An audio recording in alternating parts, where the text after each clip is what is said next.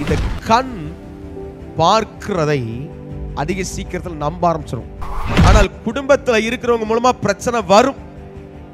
வரும். ஆனால் ஆவிக்குரிய ஒரு மனிதன் அதை ஆவிக்குரிய ரீதியிலே எதிர்கொள்ள வேண்டும். மண்டை கிட்டி சேர வேண்டும். இன்னும் கிட்டி சேர வேண்டும். இந்த கிட்டி சேருகிறதற்கு ஒரு தடுப்பாய் வரக்கூடிய காரியம்தான் என்னது? கேட்கிற செய்திகளையும் பார்க்கிறவைகளையும் வைத்து இருதயத்தை அலசடி பண்ணப்படும்போது அவைகள் உங்களை தேவனை விட்டு விலக்கிவிடும். நம்முடைய இருதயம் தேவன் மேலே வாஞ்சை எவ்வளவு வைத்திருக்கிறது என்று சொல்லி நம்மை நாமே சற்று ஆராய்ந்து பார்க்க வேண்டும். அவங்க இப்படி இவங்க இப்படி எங்க அக்கா நல்லா ஜோம் பண்ணுவாங்க என் தங்கச்சி நல்லா ஜோம் பண்ணுவாங்க எங்க அம்மா நல்லா ஜோம் பண்ணுவாங்க எங்க அப்பா நல்லா ஜோம் பண்ணுவாங்க என் வீட்டுக்காரி நல்லா ஜோம் பண்ணுவா என் வீட்டுக்காரர் நல்லா ஜோம் பண்ணுவார் அதெல்லாம் நீங்க உங்க இருதயத்துல தேவனை தேடுகிறீர்களா? தேவனை நெருங்கினவங்களை ஒரு நாள் அவர் கைவிட்டதில்லை. தெரியுமா? தனித்திருந்து கத்தையை சார்ந்து கொள்ளுதல். என் தேவன் எனக்கு இறங்கும் வரைக்கும். என் தேவன் இந்த காரியத்தை எனக்கு தரும் வரைக்கும். நான் விடாப்பிடியா பிடிப்பேன்.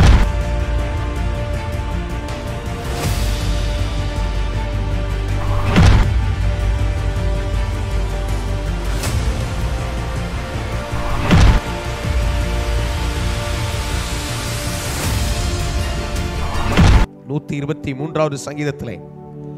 இரண்டாவது வசனத்தில் நான் வாசித்த இந்த வார்த்தை. இந்த சங்கீதம் முழுவதுமே அப்படிதான் இருக்குது. இருபத்தி மூன்று இரண்டு. இதோ இதோ வேலைக்காரரின் கண்கள். வேலைக்காரரின் கண்கள். தங்கள் எஜமான்களின் கையை நோக்கி எஜமான்களின் கையை நோக்கி இருக்குமா போலவும். வேலைக்காரியின் கண்கள். வேலைக்காரியின் கண்கள். தன் எஜமாட்டியின் கையை நோக்கி இருக்குமா போலவும். எஜமாட்டியின் கையை நோக்கி இருக்குமா நோக்கி இருக்குமா போலவும். எங்கள் தேவனாகிய கர்த்தர். எங்கள் தேவனாகிய கர்த்தர். எங்களுக்கு இரக்கம் செய்யும் வரைக்கும். எங்களுக்கு இரக்கம் செய்யும் வரைக்கும் எங்கள் கண்கள் அவரை நோக்கி இருக்கிறது. எங்கள் கண்கள் அவரை நோக்கி இருக்கிறது. ஹalleluya ஹalleluya ஹalleluya ஹalleluya முதல் வசனத்தை வாசிங்க. பரலோகத்தில் வாசமாய் இருக்கிறவரே. பரலோகத்தில் வாசமாய் இருக்கிறவரே. உம்மிடத்திற்கு உம்மிடத்திற்கு என் கண்களை என் ஏறெடுக்கிறேன் கண்களை ஏறெடுக்கிறேன். என் கண்கள் யாரிடமாய் இருக்கிறது? அல்லாது பொதுவா இப்படி சொல்லி கேட்டிருப்பீங்கன்னு நினைக்கிறேன். ஒருவேளை தெரியலன்னா சொல்றேன். ஒருவேளை கேட்டிருக்கலாம். ஒரு ஆகாரத்தை நாம் பார்க்கிறோம் என்று வைத்துக் கொள்ளுங்கள். அது பழமா இருக்கட்டும் அல்லது ஏதோ ஒரு பழ கனி அல்லது ஒரு நல்ல பிரியாணியா இருக்கட்டும் அல்லது நல்ல புரோட்டாவா இருக்கட்டும் அல்லது நல்ல கேக்கா இருக்கட்டும் ஒரு இனிப்பா இருக்கட்டும் அல்லது காரமா இருக்கட்டும் எதா இருக்கட்டும். முதல்ல அது எது சாப்பிடும்? அதை எது சாப்பிடும்? கண்ணு தான் கண் அதை பார்த்து எனக்கு அது பிடிக்கிறது என்று சொன்னால் தான் என்ன செய்ய முடியும்? அதை சாப்பிட முடியும். சிலர் ருசி பார்க்கறதுல கில்லாடிகள். எப்படி? லேசா அந்த அந்த நாக்கில் லேசா டச் பண்ணிட்டு ஆ நல்லா இருந்தா சாப்பிடுவான். துள்ளா தொடக்கூட மாட்டான். இல்லை சிலர் எப்படி? ஆனால் அதை பார்த்து மற்றவர்களுக்கு பிடிக்கும். இவங்களுக்கு பிடிக்காது. ஆனா எப்படி? இவர்கள் கண்கள் பார்த்து அது சரி அதை சாப்பிடலாம் என்று சொல்லி அதை எண்ணும் போதுதான் அதை சாப்பிட முடியும். இல்லையா? ஆமாவா இல்லையா? அதே மாதிரி இந்த கண் பார்க்கிறதை அதிக சீக்கிரத்தில் நம்ப ஆரம்பிச்சிடும் நம்ம தமிழ்ல ஒரு பழமொழி உண்டு. கண்ணை நம்பாத உன்னை ஏமாத்தும். கண்ணை நம்பாத உன்னை ஏமாத்தும். இன்னொன்று சொல்லுவாங்க. கண்ணால் கேட்பதும் சாரி பார்ப்பதும் போய் காதால் கேட்பதும் போய் தீர விசாரிப்பதே மெய்ன்னு சொல்லுவாங்க ஆனால் பொதுவாக ஒரு மனிதனுடைய சிந்தனையை டச் பண்ணக்கூடிய தொடக்கூடிய ஒன்று என்று சொன்னால் அது கண் தான் முதல்ல அதை செய்யும். பழைய நாட்களில் ஏறக்குறைய ஒரு முப்பது வருஷம் முன்னாடி வச்சுக்கோங்களேன் நம்ம இந்தியாவில். இன்னும் அதுக்கு முன்னாடிலாம் ரொம்ப வருஷம் முன்னாடிலாம் ரேடியோலாம் வந்துச்சு. ஆனால் இந்தியாவில் கொஞ்சம் பரவலாக ரேடியோ. ரேடியோனானது வானொலி. அங்கங்கே இருக்கும். காதில் கேட்பாங்க ஏன் டெண்டுல்கர் டெண்டுல்கர் யார் யார்? பழைய கபில் தேவ் சிக்ஸர் அடிச்சிட்டாரியா என்ன? அந்த காலம் அது. அதை கேட்பாங்க காதில். அப்புறம் கொஞ்ச நாள் போச்சு தொலைக்காட்சி வந்துச்சு. டிவியில் பார்த்தாங்க. ஆ சூப்பர். அப்ப காண்கிற காட்சி. இது இப்ப மாறிட்டு என்ன மாறிடுச்சு? இப்ப செல்போன் கையெடுக்க கருவி. அதுல பார்க்கிறவைகள் நம் கண்களிலே பார்த்து சில நேரம் காதுகளுக்குள்ள வந்து ஏன்னா எப்படி வருது? ரொம்ப சீக்கிரமாய் ஒருவனுடைய இருதயத்தை ஒன்று பிடித்து கொள்ள வேண்டும் அல்லது அந்த இருதயம் கிரகித்து கொள்ள வேண்டும் என்று சொன்னால் அது எதை எது எது அதை செய்யும் என்றால் படக்காட்சி அதை செய்யும். படம் போன்ற ஒரு காட்சி. அதில் ஒரு எண்பது தொண்ணூறு வருஷம் முன்னாடிலாம் பார்த்தீங்கன்னா இந்த சினிமாங்கிற ஒன்று வரும்போது முதல்ல வெறும் ஊமப்படம். பேச்சுலாம் கிடையாது. அதையும் பார்த்து சிரிச்ச ஆட்கள் உண்டு. பின்னாட்களிலே இப்பொழுது அந்த ஒளி ஒளி அப்படின்னானது சத்தமும் வெளிச்சமும். சரியா? அது ஒரு காலம் நாங்களாம் சின்ன பிள்ளைகளா இருக்கிற காலத்தில் அதுக்கு எனது பக்கத்து வீடுகள் அலைஞ்சு ஓடின நாட்கள் உண்டு. என்ன பய என்ன எது கிடையாது. டிவி எல்லார் வீட்லையும் இருக்காது.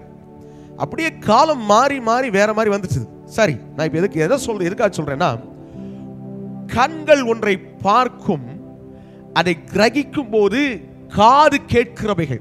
ரெண்டு இருக்கு இல்லையா? இது ரெண்டு ஒரு மனுஷனுக்குள்ள நேரடியாய் அவனுடைய சிந்தனையில போய் பதிஞ்சிடும் நீங்க ஐந்து வயதுக்கு பின்பதாக ஐந்து அல்லது ஏறக்குறை ஐந்து அல்லது ஆறு இந்த வயதுக்கு பின்பதாக உள்ளதெல்லாம் ஞாபகம் இருக்கும். இல்லையா? எல்லாருக்கும். எல்லாருக்குமே. ஆனால் ஐந்து வயதுக்கு முன்பதாக நடந்தது என்னன்னு கேட்டால் ஞாபகம் இருக்காது ஏன்னா அது வளர்ச்சியின் அடிப்படையிலே ஒவ்வொன்றாய் மாறிட்டே வரும். அது ஒரு தகுந்த வளர்ச்சி ஞாபகம் வைத்துக் கொள்ளுகிற வயது என்பது அட்லீஸ்ட் ஒரு ஐந்து வயது. அதெல்லாம் எங்க ஸ்டோர் ஆகுது எங்க போய் சேமிக்கப்படுகிறது? நமக்கு நம்முடைய தலையிலே வைக்கப்பட்டிருக்கிற அந்த மூளையிலே. அவன் அந்த மூளையில போய் என்ன ஆகுது? பதி. மனுஷன் இந்த உலகத்தில் நூறு வயசு வாழ்ந்தாலும் சரி நூத்தி இருபது வயசு வாழ்ந்தாலும் சரி அந்த கடைசி காலத்தில் கொஞ்சம் கொஞ்சமாக மறக்குது. காரணம் அந்த இரு அந்த மூளையில் இருக்கிற செல்ஸ்ன்னு சொல்லுவாங்க அதெல்லாம் மறித்து கொண்டே வருகிறதுனால அது மறக்கடிக்கப்படுகிறது. சரி நான் இங்கே எதுக்கு பிரதர் இதை சொல்கிறீங்க கண்களினால் ஒன்றை கண்டு காதுகளினால் ஒன்றை கேட்கும் பொழுது அது உடனடியாய் பதிந்து விடுகிறது இருதயத்திலே. இன்றைக்கு அநேகருடைய பிரச்சனை பேட்டில் கிரவுண்ட் பேட்டில் யுத்த களம் அநேகருக்கு யுத்த களம் எதுன்னு கேட்டால் உலகத்துல இருக்கிற சொந்த சகோதரர்களுக்குள்ள இல்ல. அல்லது ஊர் உலகத்துல இருக்கிற மக்களோட கிடையாது. பைபிள் என்ன சொல்லுதுன்னா எபேசியர் ஆறாவது அதிகாரம் பதி பனிரெண்டாவது வசனம். ஏனெனில் மாம்சத்தோடும் மாம்சத்தோடும் இரத்தத்தோடும் அல்ல ரத்தத்தோடும் அல்ல துரைத்தனங்களோடும் துரைத்தனங்களோடும் அதிகாரங்களோடும் அதிகாரங்களோடும் இப்பிரபஞ்சத்தின் இப்பிரபஞ்சத்தன் அந்தகார அந்தகார லோகாதிபதிகளோடும் வான மண்டலங்களில் உள்ள வான மண்டலங்களில் உள்ள பொல்லாத ஆவிகளின் பொல்லாத ஆவிகளின் சேனைகளோடும் நமக்கு போராட்டம் உண்டு. நமக்கு போராட்டம் உண்டு. ஹalleluya அலையலூயா போராட்டம் எங்க இருக்கு? சொந்த சகோதரி கிட்ட கிடையாது சகோதரன்ட்ட கிடையாது. குடும்பத்தில் இருக்கவங்ககிட்ட கிடையாது. ஆனால் குடும்பத்தில் இருக்கிறவங்க மூலமா பிரச்சனை வரும். வரும். ஆனால் ஆவிக்குரிய ஒரு மனிதன் அதை ஆவிக்குரிய ரீதியிலே எதிர்கொள்ள வேண்டும். ஆமென். ஆனால் அதிக நேரம் இந்த மூளைக்குள்ள வந்து பதிகிற செய்தி இருக்குல்ல அது என்ன செஞ்சிருக்கு தெரியுமா? கார்னல் மைண்ட் அதாவது மாம்ச சிந்தனைகள் மாம்சத்தின் சிந்தனைகள். இந்த மாம்சத்தின் சிந்தனைகள் ஒரு மனிதனை அப்படியே ஆட்கொண்டு விட்டு அவர்களை தூண்டி விட்டு என்ன செய்யுது? இன்னொருத்தர்கிட்ட சண்டை போடுறவங்களாம். இன்னொருத்தர்கிட்ட வாக்குவாதம் பண்றவங்களாம். இன்னொருத்தர்கிட்ட நல்ல இணக்கம் அல்லாவது ஒற்றுமையா இல்லாத நிலைக்கு தள்ளப்படுகிறவைகளாய் ஒருவனை மாற்றி விடுகிறது. அலேலுயா சத்துருனுடைய ஏம் அதாவது பிசாசனுடைய நோக்கம். என்ன தெரியுமா? என்ன தெரியுமா? நம்முடைய சிந்தையிலே நம்மை குழப்புறது. இல்லையா புரிஞ்சுக்கிடுங்க. நிறைய பேர் சொல்ல மாட்டாங்க. ஆமே நான் சொல்லுகிற டாக்டரின் கொஞ்சம் கவனிங்க. நீங்கள் வேதத்தில் இயேசு பேசினது அதிகமாக பேசினது இருதயத்தின் நினைவுகளை பேசினார். இல்லையா இருதயமே மகா திருக்குள்ளதும் கேடுள்ளதுமாக இருக்கிறதுன்னு சொன்னார் இயேசு. ஆமேன் ஹலே லூயா ரொம்ப கவனம். ஆமேன் சரி. அப்போ கண்களினால் ஒன்றை பார்த்து நான் கிரகித்து விட்டேன். அந்த கண்களில் நான் பார்த்தது என் காதுகளிலும் செய்தியாக வந்து விட்டது. இது ரெண்டும் சேர்ந்து என் இருதயத்தில் என்ன பண்ணிடுது? வந்து அடைச்சிட்டு. இப்போ இந்த வந்த இந்த பிரச்சனையை அதே எபேசியர்ல வாசித்தீங்கன்னா பொல்லாங்கனையும் அக்னியாஸ்திரங்களை எல்லாம் அவித்து போடத்தக்கதாய். விசுவாசம் எல்லாவற்றுக்கும் மேலாக விசுவாசம் எனும் கேடயத்தை பிடித்துக் கொண்டவர்களாயும் நில்லுங்கள் பதினாலாயிரத்துல பதினாறு. ஆமென். எபேசியர் ஆறு பதினாறுல வாசிக்கிறோம். அப்போ ஒரு பிரச்சனை வரும்போது இது என்ன நடக்குது என்பதை ஆவிக்குரியவன் சுதாரித்து அறிந்து கொள்வான் நாம் அநேக நேரம் சுதாரிக்கிறதே இல்லை. பிரச்சனையை பார்த்துட்டு என்னை அந்த அக்கா அப்படி சொல்லிவிட்டாங்க. எப்படி அவங்க சொல்லலாம்? யாருக்கு மோதிரம்? அதுக்கு பின்னாடி இருந்து கிரியை செய்த அவன் என்ன அவனுடைய நோக்கம் என்ன தெரியுமா? பிசாசனுடைய நோக்கம்? நீங்க ஒழுங்கா ஜோம் பண்ணக்கூடாது நீங்க ஒழுங்கா தேவனை அறியக்கூடாது. தேவனிடத்துல நெருங்கக்கூடாது. இன்னைக்கு நம்ம பார்க்கிற காரியம் என்னது? தேவனிடத்துல நெருங்கி சேர வேண்டும் என்று ஆவியானவர் உணர்த்தினார். இல்லையா? இங்கே இருக்கிறவங்க இந்த ஆன்லைனில் இருக்கிற எல்லாருக்கும் கத்தர் சொல்றது என்னது? தேவனிடத்தில் நெருங்கி சேர வேண்டும். இன்னும் உம்மண்டை கிட்டி சேர வேண்டும். இன்னும் கிட்டி சேர வேண்டும். இந்த கிட்டி சேருகிறதற்கு ஒரு தடுப்பாய் வரக்கூடிய காரியம் தான் என்னது? கேட்கிற செய்திகளையும் பார்க்கிறவைகளையும் வைத்து இருதயத்தை அலசடி பண்ணப்படும்போது அவைகள் உங்களை தேவனை விட்டு அல்லேலூயா. ஹalleluya விளங்குதா? நாம வாசித்த வசனத்துக்கு இப்போ வாங்க. எங்க? சங்கீதம் நூத்தி இருபத்தி மூணு. 1 2 வாசிங்க. பரலோகத்தில் வாசமாயிருக்கிறவரே பரலோகத்தில் வாசமாயிருக்கிறவரே உம்மிடத்திற்கு என் கண்களை ஏறெடுக்கிறேன். உம்மிடத்திற்கு என் கண்களை ஏறெடுக்கிறேன். ஏறெடுக்கிறேன். இதோ இதோ வேலைக்காரரின் கண்கள் வேலைக்காரரின் கண்கள் தங்கள் எஜமான்களின் கையை நோக்கி இருக்குமா போல தங்கள் எஜமான்களின் கையை நோக்கி இருக்குமா போல? வேலைக்காரியின் கண்கள் வேலைக்காரியின் கண்கள் தன் எஜமாட்டியின் கையை நோக்கி தங்கள் எஜமாட்டியின் கையை நோக்கி இருக்குமா போல? எங்கள் தேவனாகிய கர்த்தர் அதாவது இந்த உதா ஓ- உவமையோட ஒரு உதாரணத்தோட இந்த மனுஷன் எழுதியிருக்கிறார். ஹalleluyaம் ஹalleluya. இந்த சங்கீதத்தை எழுதினது யாரு? ஆரோகண சங்கீதம் இருக்குது. ஆமென் ஹalleluya மோஸ்ட் ப்ராபலி சங்கீதக்காரனா இருக்கலாம். தாவிதா. கத்தருக்கு ஸ்தோத்திரம். அப்ப இந்த மனுஷன் சொல்ற அந்த ஓமையை கவனியுங்கள். என் கண்கள் வேலைக்காரர் எப்படி? எந்த எஜமான் ஏதாவது கொஞ்சம் தந்திர மாட்டாரா யோசித்து பார்த்திருக்கீங்களா? நம்ம வேலை செய்யற இடத்துல கூட சிலர் இப்போ வந்து ரொம்ப நிறைய மாறிட்டு முந்தி மாதிரி கிடையாது. முந்தியெல்லாம் ரொம்ப மோசம். கொஞ்சம் கொஞ்சமா சட்டங்கள் போட்டு போட்டு கொஞ்சம் கொஞ்சமா மாறிட்டு வந்துட்டு ஆனாலும் சில இடத்துல அது இல்லை. அந்த அரசாங்கத்தில் பதிவு செஞ்சு செய்கிறாங்கல்ல அந்த கம்பெனிகள் சிலது ஒழுங்குமுறையில் வைத்திருக்கிறது. இந்த சாதாரணமாக சின்ன சின்னதாக இருக்கிறது பரியாம அப்படி இருக்கிறாங்க அவங்களாம் அதெல்லாம் கடைபிடிக்கிறது இல்லை. ரொம்ப ரேர் ஆனால் இப்போ ஒரு கடையில் ஒரு கடை ஒரு ஒரு மளிகை கடைன்னு வச்சுக்கிடுங்க. அவங்கள அரசாங்க சட்டத்தின்படி வச்சுருப்பாங்கன்னு நினைக்கிறீங்க? அது பதிஞ்செலாம் இருக்காது. ரொம்ப டிபார்ட்மெண்டல் ஸ்டோர் வரலையே அப்போ தான் அந்த காரியம் போகும். அதுவும் செய்கிறாங்களான்னு தெரில நிறைய இடத்துல அதெல்லாம் இல்லை. இன்னைக்கு ஜிஎஸ்டி வந்த பிறகு நிறைய விஷயங்கள் மாறி இருக்கு. பட் இருந்தாலும்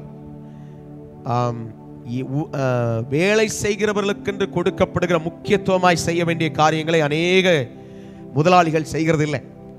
இப்போ ஒன்றுமே கிடைக்கல ஒருத்தனுக்கு. தினக்கூலியாக வேலை பார்க்குறான்னு வச்சுக்கிடுங்க. அவனுடைய கண் இன்னைக்கு இந்த வேலையை செஞ்சுட்டா எஜமான் எனக்கு தர வேண்டியதை கொடுத்துருவார் அப்படிங்கிற ஒரு எண்ணம் அவனுக்குள்ளே இருக்கும். எப்பவுமே எவ்வளவு கொடுப்பார் எனக்கு? இன்னைக்கு செஞ்ச வேலைக்கு தினக்கூலிகள் அப்படிதான் காரியங்கள் மாறும். இப்படி அந்த வாஞ்சை ஒரு பெரிய ஏக்கம் எஜமான்ட்டிருந்து ஏதாவது வாங்கிட மாட்டோமா? ஏதாவது பெற்றுக்கொள்ள மாட்டோமா? அப்படிங்கிற ஒரு பெரிய ஏக்கம் அவர்களுக்குள்ளே இருக்கும். அன்பானவர்களே சற்று ஆராய்ந்து பாருங்க அப்படிப்பட்ட ஒரு ஏக்கத்தை என்ன சொல்றாரு சங்கீதக்காரன்? அத அத அந்த சம்பவத்தை கோட் பண்ணி அந்த சம்பவத்தை எடுத்து காண்பித்து விளங்க காண்பித்து சொல்றான் எங்கள் தேவனாகிய கர்த்தர் எங்களுக்கு இரக்கம் செய்யும் வரைக்கும் அல்லேலூயா எப்ப வரைக்கும் எங்களுக்கு இரக்கம் செய்யும் வரைக்கும் எங்கள் கண்கள் அவரை நோக்கி இருக்கிறது. இருக்கிறது. அல்லேலூயா அல்லேலூயா இது பழைய ஏற்பாட்டில் இருக்கிற ஒரு சத்தியமான வார்த்தை. பழைய ஏற்பாட்டில் தேவைப்படும் பொழுதெல்லாம் கர்த்தரிடத்திலே வந்தார்கள். புதிய ஏற்பாட்டு சத்தியம் தேவைப்படும் பொழுதெல்லாம் அல்ல எப்பொழுதும் ஆண்டவரோடு இருக்க வேண்டும். அதுக்கு இதுக்கு வித்தியாசம் தான் ஆமென் ஆனாலும் பாருங்க சங்கீதக்காரனாகிய தாவீது எல்லா சூழ்நிலையிலும் கர்த்தரோடு இருந்தான். அதனால தான் அவனை அவனுக்கு பேர் என்ன தெரியுமா? என் இருதயத்துக்கு ஏற்றவனாக கண்டேன். அல்லேலூயா ஏன்? எப்பவுமே ஆண்டவரை தேடிக்கிட்டே இருந்த மனுஷன். தவறு செய்த போது சுட்டி காட்டப்பட்ட போது மனம் திரும்பி தேவனிடத்திலே வந்தவன் சங்கீதக்காரனாகிய தாவீது. அல்லேலூயா அல்லேலூயா அன்பானவர்களே நம்முடைய இருதயம் தேவன் மேல வாஞ்சை எவ்வளவு வைத்திருக்கிறது என்று சொல்லி நம்மை நாமே சற்று ஆராய்ந்து பார்க்க வேண்டும். அல்லேலூயா அல்லேலூயா நீங்க அவங்க இப்படி இவங்க இப்படி எங்க அக்கா நல்லா ஜோம் பண்ணுவாங்க என் தங்கச்சி நல்லா ஜோம் பண்ணுவாங்க எங்க அம்மா நல்லா ஜோம் பண்ணுவாங்க எங்க அப்பா நல்லா ஜோம் பண்ணுவாங்க என் வீட்டுக்காரி நல்லா ஜோம் பண்ணுவாங்க என் வீட்டுக்காரர் நல்லா ஜோம் பண்ணுவார் அதல்ல. நீங்க உங்க இருதயத்துல தேவனை தேடுகிறீர்களா நீங்கள் உங்கள் இருதயத்துல தேவனிடத்துல நெருங்குகிறீர்களா அதுதான் காரியம். ஆமென். தேவனை நெருங்கினவங்களை ஒரு நாள் அவர் கைவிட்டதில்லை. தெரியுமா? எந்த இடத்துலையும் வசனம் சொல்லுது இன்னொரு வார்த்தை. நீதிமான் சந்ததி அப்பத்துக்கு இறந்து திரிந்ததை நான் ஒரு இடத்துலையும் பார்க்கலன்னு சொல்லி எழுதியிருக்கு. அல்லேலூயா. அன்பான சகோதர சகோதரியே எப்படி இருக்கிறீங்க? ஆண்டவரை சரியா தேடுறீங்களா? ஆண்டவருக்கு ஆண்டவரை தேடுறதுனா என்னது? அதிகாலையில் தேடுறது ஒண்ணு ராத்திரியும் தேடுறது. என்ன நேரத்தில் தேடினாலும் சரி தனித்திருந்து அவரை தேடுங்கள். அல்லேலூயா. பிரதர் அப்ப ஃபேமிலி ப்ரேயர் நல்லது. அதை செய்யுங்க. அப்பதான் உங்களுக்குள்ள ஒரு மனம் வரும். ஆமா நான் ஏற்கனவே சொன்னது போல. ஆனால் தனித்திருந்து கத்தரை சார்ந்து கொள்ளுதல். என் தேவன் எனக்கு இறங்கும் வரைக்கும் என் தேவன் இந்த காரியத்தை எனக்கு தரும் வரைக்கும் நான் விடாப்பிடியா பிடிப்பேன். யாக்கோபு அப்படிதான் பிடிச்சுக்கிட்டான். அல்லேலூயா அல்லேலூயா நீர் என்னை ஆசீர்வதித்தால் ஒழிய நான் உம்மை போக விடேன் அல்லேலூயா அல்லேலூயா கடைசியில் அவன் பேரையே மாத்திவிட்டார் என்ன சொல்லிட்டாரு? உன் பேர் என்னப்பா? யாக்கோபு தானே? இனிமே யாக்கோபுன்னு இல்லப்பா. நீ இஸ்ரவேல்னு பேரிடப்படுவாய். தேவனோடும் மனுஷனோடும் போராடி மேற்கொண்டாயே என்று சொல்லி எழுதப்பட்டிருக்கிறது. ஆமென். அல்லேலூயா. அப்ப என்னது? என் ஆண்டவரிடத்தில் நான் பெற்றுக்கொள்ள வேண்டும். என் கண்கள் அவரையே நோக்கி இருக்குமானால் இப்போ நான் முதல் சொன்னதுக்கு லிங்க் பண்ற பாருங்க கவனிங்க. நான் பார்க்கிறது எப்படி எனக்குள்ளே பதிந்து வைத்துக் கொள்கிறேனோ அதே போல் என் கண்கள் தேவனையே நோக்கி இருக்குமானால் வேற காரியம் எனக்குள்ள இன்டர்ஃபியர் அதாவது இடையில வராது என் கண்கள் அவரை மட்டுமே நோக்கி இருக்கும். உலகத்துல எவ்வளவு பெரிய பிரச்சனை வந்தாலும் சரி. என்ன நடந்தாலும் சரி என் ஆண்டவர் என் கூட இருக்கிறாரு. அவர் என்னை கைவிட மாட்டாருங்கிற. விசுவாசம் நமக்குள்ளே பெருகும். அவர் நிச்சயமா இதை செய்வார். அப்போ எனக்குள்ள என்ன வந்துரும்? என் தேவன் என் கூட இருக்கிறார்.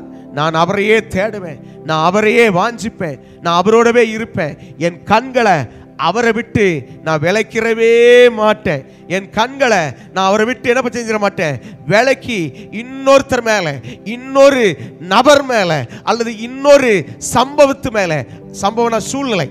இன்னொரு சூழ்நிலை. இப்படி வந்துட்டே என்ன செய்யன்னு சொல்லி அதை என் கண்கள் பார்க்காது மாறாக இது என்ன கிடக்கு? என் கண்கள் அவர் மேலே நீதியின் அதிபதி மேலே. நித்திய நித்தியமாய் வாசம் செய்கிறவர் மேலே என். கண்கள் பூரணமாய் இருக்கும். ஹalleluya. ஹalleluya. அல்லேலூயா தேவன் நம்ம கிட்ட அதை தான் விரும்புறார். ஹalleluya. ஆமென். கர்த்தர் நம்ம கிட்ட என்ன விரும்புறாரு? என் மகனே என் மகளே உன் கண் எங்க இருக்கு? உலகத்தின் பிரச்சனைகளையே பார்த்துக்கிட்டு இருக்கா உலகத்தின் சூழ்நிலைகளையே உன் கண்கள் தேடிக்கிட்டு இருக்குதா அல்லது உன் கண் ஏன் மேல இருக்கான்னு கேட்கிறார். அல்லேலூயா அநேகர் அந்த உருவங்களை பார்த்து கொள்ளுகிறார்கள். என்ன உருவம்? சிலர் எப்படிப்பட்ட உருவங்களை பார்த்துடுறாங்க? இயேசு போட்டோம். இயேசு சிலை. சில இடங்கள்ல இருக்கு இல்லையா?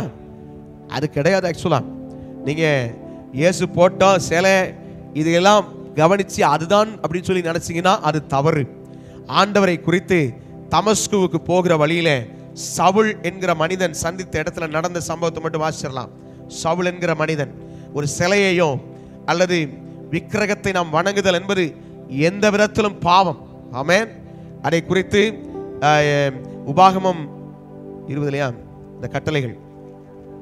யாத்ராகம இருபதுல எடுங்க யாத்ராகம இருபது எடுங்க முதல்ல அதை வாசித்துருவோம்.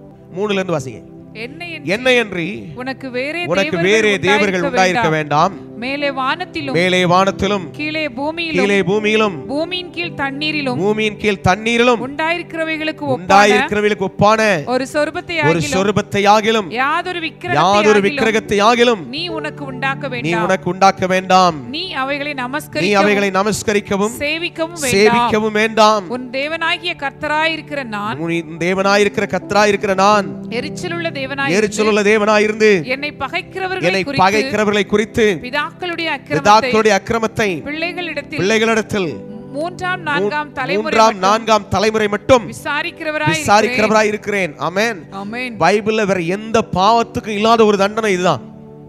நாலு தலைமுறைக்கு வரும்னு சொல்றார். எது? ஒரு விக்கிரகத்தை வணங்குவோமானால். பிரதர் இயேசு போட்டா தானே? இயேசு போட்டாவும் விக்கிரகம் தான். அல்லேலூயா. வணங்க கூடாது ஆமென்.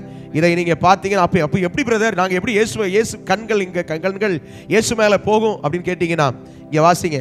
இப்போ வாங்க அப்போஸ்தலருக்கு வாங்க. அப்போஸ்தலர்ல ஒன்பது மூணு வாசிங்க. அவன் பிரயாணமாய் போய் அவன் பிரயாணமாய் போய் தமஸ்குவுக்கு சமீபித்த போது தமஸ்கூவுக்கு சமீபித்த போது சடுதியிலே சடுதியிலே வானத்திலிருந்து ஒரு ஒளி வானத்திலிருந்து ஒரு ஒளி அவனை சுற்றி பிரகாசித்தது. என்ன என்ன என்ன கிடைச்சது? வானத்திலிருந்து ஒரு ஒளி அவனை சுற்றிலும் பிரகாசித்தது.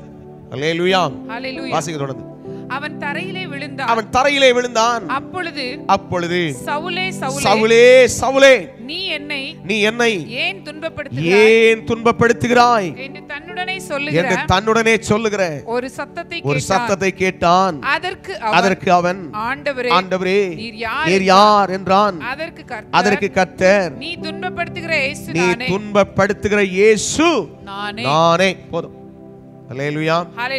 இந்த இடத்துல அந்த வெளிச்சத்தை காண்பித்து தன்னை சுற்றிலும் பிரகாசிக்கிற வெளிச்சம். அந்த வெளிச்சத்தை பார்த்துட்டு கேட்கிறான். சத்தம் வருது. நீ என்ன ஏன்பா துன்பப்படுத்துற? அவன் கேட்கிற கேள்வி ஆண்டவரே நீர் யார்? நான் என்ன செய்ய சித்தமாய் இருக்கிறீர் ஹalleluya யாருன்னு அவன் கேட்டதுக்கு அவர் சொல்ற ஒரு வார்த்தை நீ துன்பப்படுத்துகிற இயேசு நானே. அல்லேலூயா ரெண்டாயிரத்தி ஒன்பதாவது ஆண்டுல ஆண்டவரை அறிந்து அவருக்கு நேரே தேடி கொண்டிருக்கும் போது பயங்கர பிரச்சனைகள் போராட்டங்கள் குடும்பத்தில். வேலை இல்லை ஆண்டவரையே நோக்கி இருக்கிறது எங்கள் கண்கள். ஆண்டவர் எங்களுக்கு உதவி செய்வார்ங்கிற ஒரு பெரிய வாஞ்சையோடு தேடி கொண்டிருந்த போது ஒரு நாள் நாங்கள் போய் கொண்டிருந்த சபை நாங்கள் இருந்த ஊர்ல. சென்னையில் இருக்குது. வேங்கடமங்கலம் என்கிற ஒரு கிராமம். அதுல இன்னைக்கு கொஞ்சம் பட்டணம் ஆயிடுச்சு அது. ஆல்மோஸ்ட் லூயா அந்த இடத்துல அங்கிருந்து இருந்து வச்சு நாங்க ஜோம் பண்ணுறோம் நான் என் மனைவி என் தாய் இன்னும் இன்னும் இன்னும் இரண்டு சகோதரர்கள். சுற்றிலும் நின்று ஜெபித்து கொண்டிருக்கிறோம். ஒரு பிரகாசமான ஒரு வெளிச்சத்தை கண்டேன். ஒரு வாசனையை கண்டேன். உணர்ந்தேன். அது வரைக்கும் அந்த அனுபவம்லாம் கிடையாது. பவுல் சொல்றது போல அகால பிறவி போன்ற எனக்கும் அவர் தரிசனமானார். ஆமென். அவருடைய சரீரத்திலே ஒரு பகுதியை பார்த்திருக்கிறேன். அவருடைய முகத்தை நான் பார்க்கல. பட் ஸ்டில் ஐ நோ வந்தது இயேசு என்று. ஏன் தெரியுமா? ஒரு வாசனை வருது. பரிமள தைலத்தின் வாசனைன்னு சொல்லி அந்த இருதயத்தில் வருது அந்த வாசனை. பரிமள தைலம்னா இயேசுவாச்சே அப்படின்னு சொல்லி நினைக்கும் போது அவருடைய சரீரத்திலே ஒரு பகுதியை காண்பிக்கிறான் ஒரு வித்தியாசமான கலர். இது யூதர்களின் கலர்னு சொல்லி அடுத்த இருதயத்தில் வருது இப்படி ஒண்ணு ஒண்ணா வரும்போது ஒரு சத்தம் கேக்குது. அதாவது ஆண்டவரை துதிச்சு மகிமைப்படுத்தி கொண்டிருக்கிறேன். அல்லேலுயான்னு சொல்லி ஆண்டவரை உயர்த்தி பாடிக்கிட்டு இருக்கிறேன். ஒரு சத்தம் கேக்குது. இனி உனக்காக உன் பிரச்சனைக்காக ஜெபம் பண்ணாத. நான் பார்த்துக்கிறேன். அல்லேலுயா ஹalleluya இது நாள் வரைக்கும் அவர் தான் எங்களை நடத்துறார். அல்லேலுயா ஹalleluya அன்பானவர்களே நாங்க பார்த்தது எந்த போட்டோவையும் அல்ல. சில சொல்லுவாங்க சிலுவையில் அடிக்கப்பட்ட இயேசுவை கண்டேன். இருக்கலாம். ஆனால் என் கண்கள் அவருடைய பிரகாசத்தையும் அவருடைய வெளிச்சத்தையும் கண்டது. அதனால நான் தைரியமா சொல்ல முடியும். எந்த அடிப்படையில் பிரதர்? ஒன்னு யோவான் ஒன்னு ஒண்ணுல சொல்லுகிறது.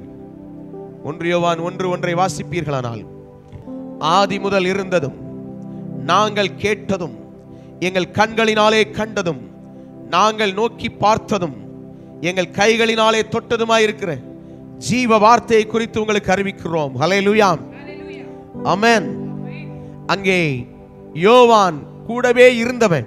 அவன் சொல்றான் ஆனால் இதே யோவான் வெளிப்படுத்தல வாசிக்கும் போது என்ன சொல்றாரு பாருங்க வெளிப்படுத்தல் ஒன்னாவது அதிகாரத்துக்கு வாங்க. பதி- பதிமூணு வாசிங்க. அந்த ஏழு குத்து விளக்குகளின் ஏழு குத்து விளக்குகளின் மத்தியிலே நிலையங்கி தரித்து நிலையங்கி தரித்து மார்பருகே மார்பருகே பொற்கச்சை கட்டி பொற்கச்சை கட்டி இருந்த மனுஷ குமாரனுக்கு மனுஷ குமாரனுக்கு. ஒப்பானவரையும் கண்டேன் ஆமென் ஆமென். இவன் நேரடியா பார்த்த ஆளு ஆனா மனுஷகுமாரன் நேரா சொல்லல அவருக்கு ஒப்பான சாயல்னு சொல்றான் அப்படின்னா என்ன தெரியுமா அர்த்தம் அங்கே ஒரு பிரகாசம் அவனால் அவருடைய முகத்தை பார்க்க முடியும். இதெல்லாம் சொல்லிட்டு பாருங்க பதினேழாவது வசனம் வாசிங்க. நான் அவரை கண்டபோது நான் அவரை கண்டபோது செத்தவனைப் போல செத்தவனைப் போல அவருடைய பாதத்தில் அவருடைய. பாதத்தில் விழுந்தேன். அப்பொழுது அவர் அவர் அப்பொழுது அவர் தம்முடைய வலது கரத்தை தமது வலது கரத்தை என் மேல் வைத்து என்னை நோக்கி என்னை நோக்கி பயப்படாதே. பயப்படாதே. நான் முந்தினவரும் நான் முந்தினவரும் பிந்தினவரும் பிந்தினவரும் உயிருள்ளவருமாய் உயிருள்ளவருமாய் இருக்கிறேன் ஹalleluya. ஹalleluya. சொல்லிட்டு அடுத்த வருஷம் சொல்றார் மரித்தேன் ஆனாலும் சதா காலங்களில் இதோ உயிரோடு இருக்கிறேன். ஹalleluya. ஹalleluya. அன்பானவர்களே இயேசு தன்னை வெளிப்படுத்தின விதங்களை காண்பிக்கிறேன். இயேசுவை நேரடியா பார்த்து வரைஞ்சவங்க யாருமே கிடையாது. அப்படியே தரிசனம் கண்டால் அவருடைய முகத்தை நான் அவருடைய அவருடைய முகத்தை பார்க்க முடியல. ஒரு பிரகாசத்தை கண்டன் தான் சொல்லுவாங்க. அப்படிப்பட்டவங்களை அவர் உண்மையாய் வல்லமையாய் பயன்படுத்தி இருக்கிறார். ஹalleluya. ஹalleluya. அதனால எதையோ ஒரு போட்டோவை பார்க்கறதுக்கு நான் சொல்லல. உங்கள் கண்கள் ஆண்டவரே உம்முடைய பிரகாசத்தை நான் பார்க்கட்டும். ஆண்டவரே என் கண்களுக்கு உம்முடைய வெளிச்சத்தை தாரும். உம்முடைய பிரசனத்தை தாரும். நான் இன்னும் நெருங்கி சேர விரும்புகிறேன். இன்னும் நெருங்கி இன்னும் நெருங்கி இன்னும் நான் நெருங்கி வர விரும்புகிறேன்.